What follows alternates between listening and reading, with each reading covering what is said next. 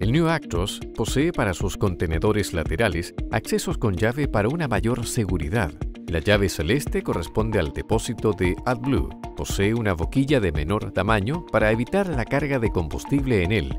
Es importante para el buen funcionamiento del sistema de posttratamiento de gases de escape que el AdBlue utilizado sea de buena calidad y no alterado con otros fluidos.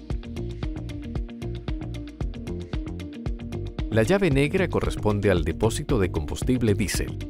Ambas llaves se giran hacia la izquierda para la apertura de la tapa y hacia la derecha para el cierre.